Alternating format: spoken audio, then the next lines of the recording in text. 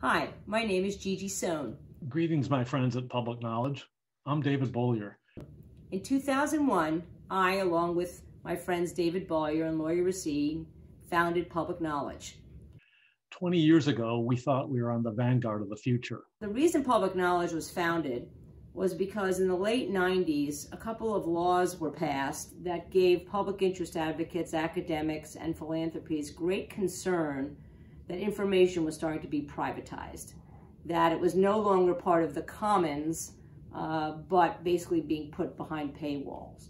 And those two laws, uh, two of the laws anyway, that gave people concern were the Sonny Bono Copyright Term Extension Act, which extended copyright terms by 20 years, and the Digital Millennium Copyright Act, which, among other things, uh, made illegal the breaking of digital locks or digital rights management for any particular reason. In addition, there was growing concern, and this from industry as well, uh, that internet access providers were becoming gatekeepers to the internet and that they might favor uh, certain content services. And at the time, that issue was called open access. It is now called net neutrality, which everybody is familiar with. But even in our state of digital primitivism, we saw how copyright law was out of control, curbing our political and cultural and civic freedoms. We saw how the DMCA and international treaties were trying to create a world of total control.